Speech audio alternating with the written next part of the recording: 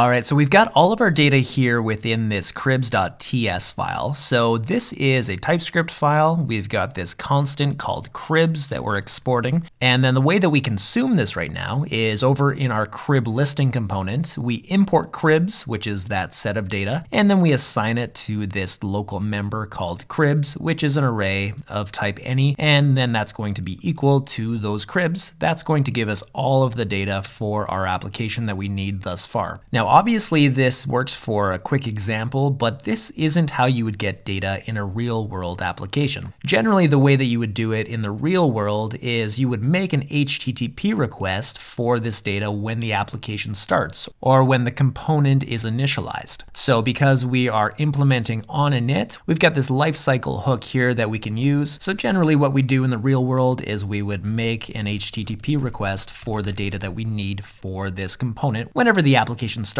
or the component is initialized. So what we'll do now is we will get a sense for how to use HTTP. We're not going to make any kind of server that's going to serve up the data, but we'll still get a good sense of how we use Angular's HTTP implementation. So the first thing that I'll want to do here is move this data directory one level up. So I'm going to place it a level up, and then within there, I'm going to rename cribs.ts to cribs.json. So this is now going to be a JSON file JavaScript object notation, we just need to take out everything before the start of this array, and now we've got ourselves a JSON file. And the reason that we're using a JSON file like this is because when you use HTTP to get some data from a server, generally you're going to be getting it back in JSON format. And JSON gives us this nice compact way of receiving data and being able to use it very easily in our JavaScript applications. All right, so now this is a JSON file, and if we go over to our crib listing component, well, that's not going to work to bring in anything called cribs from this data cribs directory because it doesn't exist anymore. So we've got to take this out as well, and we'll just cap it right there for the time being. So now what we want to do is make an HTTP request for this data. And the first step to get there is to use the HTTP library that comes from Angular. So we say we want to import HTTP from at Angular HTTP. So that's now going to give us the HTTP class that comes from Angular. So we're importing this class, but we also need to inject it into our component. And so this will make use of the implementation that Angular gives us for injecting dependencies within our app. And the way that we inject it is we come down to our constructor and we say that we want to call this a private HTTP, and then we pass HTTP just like that. So now this will give us a private instance of HTTP, and we can use it within our application by calling this.http. Now, one of the methods that comes from HTTP is get. So anytime we want to make a get request for some data, we would call .get, and we can pass a URL now for where we're getting that data from. And in our case, it's coming from the data directory and from our cribs.json file. Now, making HTTP requests is what's known as an asynchronous operation. So anytime we make a request for some data, or if we were to post some data to the server, we don't really know exactly when the response response is going to come back. We know that we should expect some response back sometime in the future, but we have no way of knowing exactly when that's going to happen. And when we construct our applications, it really wouldn't be good usability if we had to sit and wait for that response to come back before we could have anything else happen in the application. And so for that reason, we want these HTTP requests to be asynchronous. We want to say, hey, here's a request. I'm going to make a request to the server.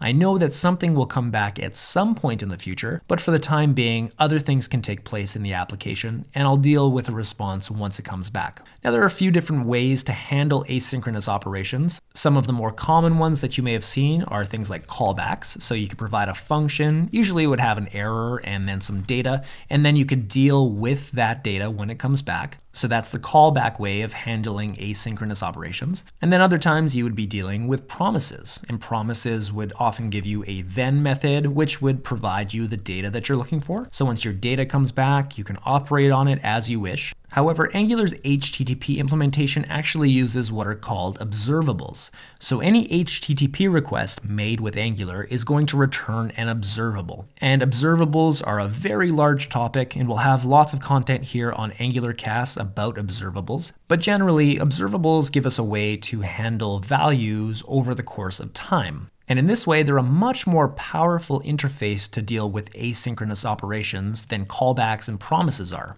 And because Angular's HTTP requests give us an observable back, what we can do is we can subscribe to the result of that request. And it's within this subscription that we'll be able to get the data and make use of it. But before we subscribe to the observable, what we want to do is make sure that we get it back as JSON. And the way that we can do that is to use an operator from the RxJS library called map. So up here, I'm going to import something from RxJS, and that's going to be RxJS add operator map. And this will give us an operator called map, which is going to allow us to transform the values that come back from this HTTP request. So down here, let's say that we want to map the values that come back. So we'll take the response and we want to map it as JSON. So our HTTP request goes out, we make a GET request for data slash cribs.json, and then whatever comes back, we're going to map it as JSON. And now we can subscribe to the result of it. So let's just bump this down to the next line, and I'm now going to subscribe to the result. And within the subscription, we'll have some data. And for now, why don't we just log that data to the console so we can see that it comes back okay for us. So let's save that, and then let's head back over to the application and what we see is we've got unexpected token semicolon. So I think what happened is that within our data, we forgot to take something away. And of course, it is that semicolon that used to sit at the end of this array because it used to be JavaScript, but now of course it's JSON. So let's try this again now. Let's go back over to the application and we'll refresh. And now what we get is the list of objects that we'd expect from our data. So now we've got all of our real estate listings as we want them. And so let's use this now instead of that static data that we were using before. Let's use the data that we get through this HTTP request to power the view here. So back over within our component, let's just pass all of this data to this cribs property now. So when data comes back, let's say this.cribs equals that data. And now what we should expect to see is our application will be displaying that data once more. And there we go. We've got all of the application data coming through as we want again. Now there's a second parameter that comes back from our subscription and that is any potential error. So what we can do is we can say that let's set this potential error that comes back. So if there's any kind of error that comes along with this request, let's set this to a local property called error. And so we'll say that this.error equals error.status text. So that's going to be a property that's going to come back with this error. And we see this is underlined in red here because we haven't initialized this yet. So let's come up here and we'll say that error, if there is one, is going to be a string. And now if there's an error that comes through, we can display it on the screen however we like. All right, so this is good. We've got all of our application data coming through this HTTP request, but what we should actually be doing is using a service to get this data. And services give us a lot of advantages. One of them is that they are reusable. So we can create a service that will give us access to this HTTP request, and then it can be reused in various places within our application. So let's create a service for this. I'm going to come over here and create a new directory called services. So that's where all of our services services will live. And then over on the command line, let's generate a new service. So I'm going to cd into source app services. And then within here, let's generate a new one. So we'll do ng g for generate service, and let's call this cribs. And what we see when we generate it is that it gets generated for us, but it doesn't get provided. So let's see how this works. Back over in our editor, over in our services directory, we see we've got this cribs.service.ts file, and it has this injectable decorator, meaning that we can inject it through dependency injection within our application. So just by way of example, this HTTP class that comes from Angular, that's something that has that injectable decorator as well, saying that we can inject it here within the constructor and make use of it in our component. So the same goes for this service. It's going to be injectable, and then we can get it through the dependency injection system. Now again, we got that message that the service wasn't provided. And what that means is that we have to come over here to our app module, and within the providers key on our ng module, we have to actually say that we want to get that service. We want the cribs service. And of course, we haven't imported it yet, so let's come up here and let's say import the cribs service, and we're gonna import it from services cribs.service. So now the crib service is being imported and we're providing it so that it can be used throughout our application. So we'll save that and then over on our service, let's create a method to get all of the cribs. Essentially, this will be the place that will handle the HTTP request that we did previously in our component. So let's say get all cribs is going to be a method. And in this, we're going to return an HTTP request. Now, of course, we have to import HTTP from Angular. So we'll say import HTTP from at Angular HTTP. And then here in the constructor, again, we'll do private HTTP and that's how we inject our HTTP class, and now we can make use of it. So we'll say here that we want to return an HTTP request, so this.http, and again, we're doing a GET request, and that's going to go to data slash cribs.json, and what we'll do here is we'll map this out in JSON format before it actually gets returned. So as a reminder, over here in our component, we're mapping this to JSON format as we do the HTTP request before we subscribe to the result result. If we didn't do this, we'd get back the data, but it might not be formatted as we like in JSON format. So let's just copy this bit and come over here to the service, and we'll say that we want to return this as JSON. Now we also need to import that operator from RxJS. So we'll say import RxJS add operator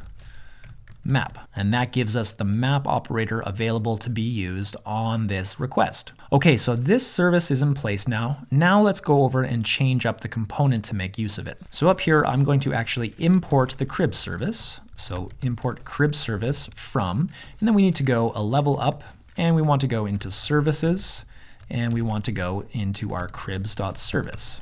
Now, since this is an injectable service, we need to inject it first before we can use it. So here I'm going to say private cribs service is going to be an instance of cribs service. And we can just bump this down onto a new line so that it's a bit more readable.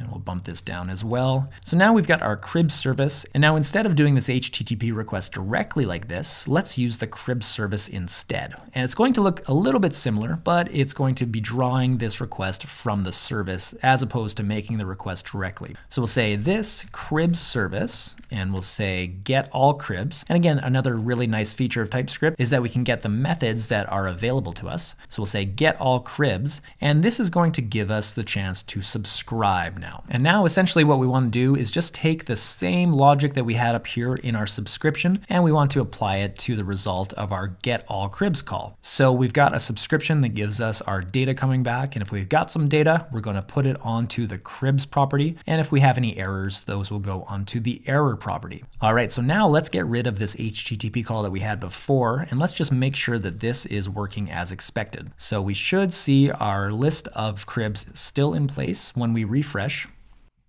and sure enough, we've got it. So let's go back and let's just clean anything up that doesn't need to be here. So for instance, we don't need to any longer import the map operator because we're using that in the service instead of our local component here. So once again, the advantage to using a service for this as opposed to doing it directly within our component is that a service allows us to reuse this logic and use it across our application in multiple places. So it's very likely that in many different locations within our app, we'd want some method to get a list of all of our real estate listings, but we wouldn't necessarily want to do the same kind of get logic everywhere that that's necessary. The other thing is that if we have all of our HTTP logic in services, then it becomes a lot easier to test these calls. All right, so that's it for now. In the next video, we're going to see how to add new listings in.